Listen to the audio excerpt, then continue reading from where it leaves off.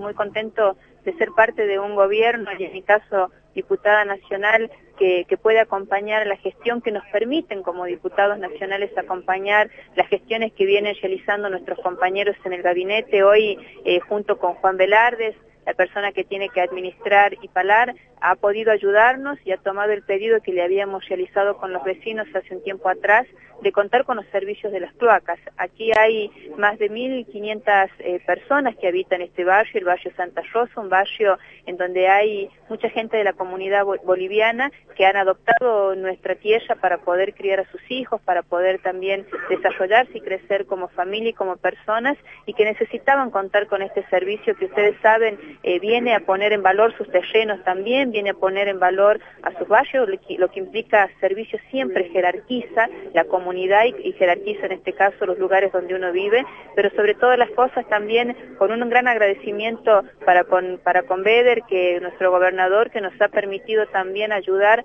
a más de 100 familias que no tenían por ahí la posibilidad de hacer las conexiones domiciliarias y que se les ha otorgado y se las ha acompañado para que puedan contar con, ¿no es cierto?, este, este servicio. Y para mí, y yo recién lo, lo, rescataba con los vecinos, es muy importante porque eh, colaborar con eh, la puesta en funcionamiento de estos servicios significa mejorar también eh, los niveles sanitarios de, de un lugar, significa apuntar a mejorar la salud dentro de un lugar. Así que yo sé que esto les va a ayudar a ellos a mejorar su calidad de vida notablemente y estos son vecinos que valoran, que reconocen el trabajo y que acompañan, porque muchos de ellos acompañaron cavando, eh, haciendo los trabajos que debían hacer para que pudiéramos contar hoy con esta inauguración que, que implica una inversión de casi un millón seiscientos pesos solamente para un barrio. Hace unos días atrás Juan estuvo inaugurando junto al gobernador el barrio agrario que implicaba a 3.000 familias y estuvimos con Juan haciendo gestiones en Buenos Aires para conseguir